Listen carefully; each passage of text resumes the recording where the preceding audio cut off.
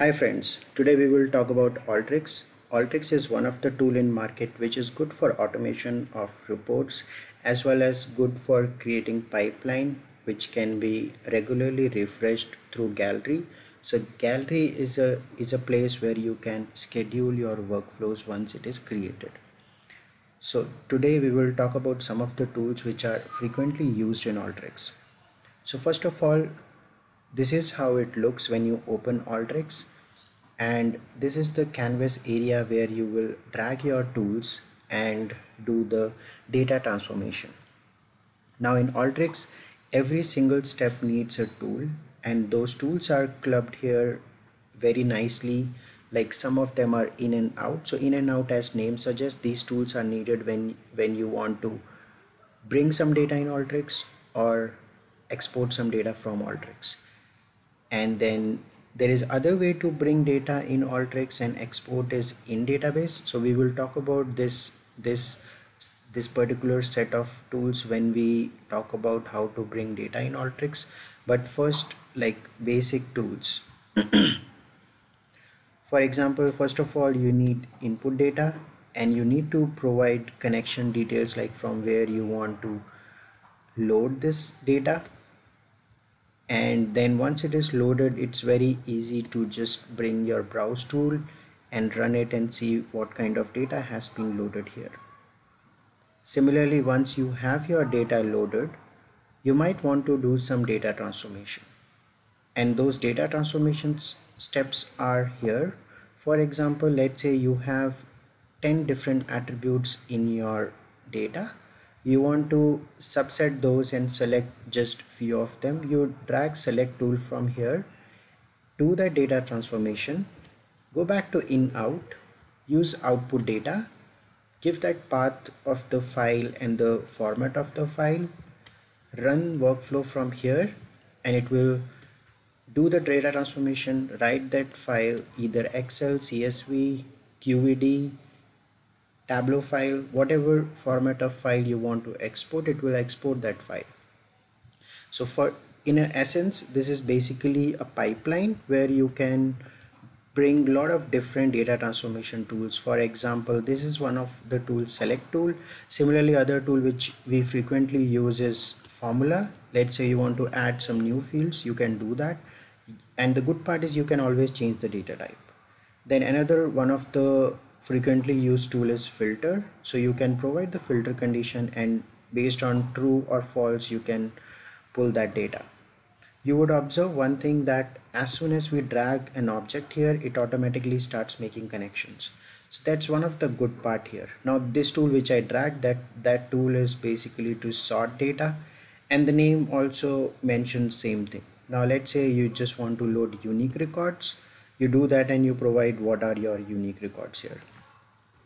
Now these are set of tools which are present for data preparation. Now one of the very basic thing you do with with your data transformation is joins.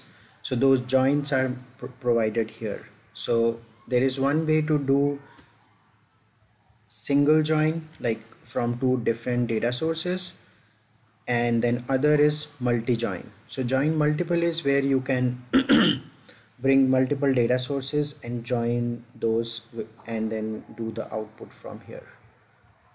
Another one of the good practice is that just copy uh, just select all your objects do right click and out add all of them into a container. It, it keeps your workflow clean and easier for other people to understand. Another thing which we can do is provide comments. So we will talk about all these things once we go more in detail around any workflow but first just give you the high level uh, overview of the objects which are present here. Another one is parse. So parse is basically to delimit your data using different objects those are present here then is transform. Now transform is again one very useful uh, set of objects. For example cross tab running total summarize transpo transpose and every object has its own properties to use. Now coming to in database. Now in database is is is a set of tools which will run inside your database. Now for example you have oracle as your database. If you do uh, data stream in what it will do is it will uh, help you write this data into Oracle. So you can give your connection name you can give your uh, table details and it, whatever data transformation you have done you can just write that in Oracle. Similarly if you want to read something from the table you can use connect in DB and then provide your data connection details and you can bring that data inside your workflow. We will go more in detail around these objects but but all of these are objects which will run with database connection and those are not compatible with other Alteryx objects until and unless you use data stream in and data stream out. Now another key feature here is reporting.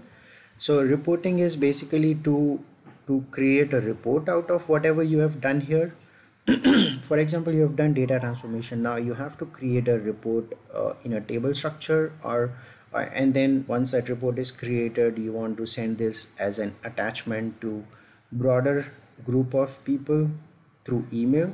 So that feature is there. And then similarly you can create your layout you can create your email body and all that moving next is your documentation. So documentation is just to give more uh, comments and keep your uh, workflow clean.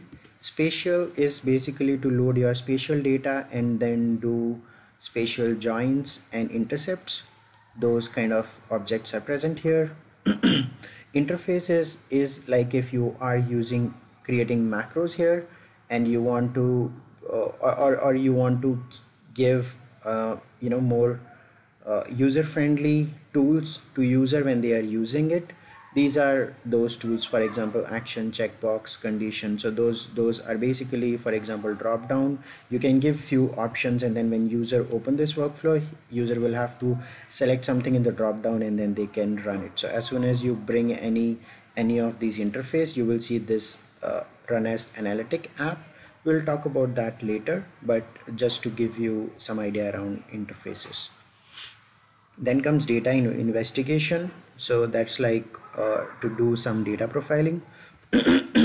And then it's predictive. So in predictive you will find very uh, few objects because that's still uh, getting evo evolved. In Alteryx then comes the prescriptive and then connectors. So there are different connectors which are present here. You can use any of that. Um, address uh, this is for example if you want to do geocoding of the address data you can use these. Then comes your demographic analysis behavioral analysis developer. So there are some good objects in developer as well. So one of that is like this python which is very handy when you are doing some of the automation activities on your reports.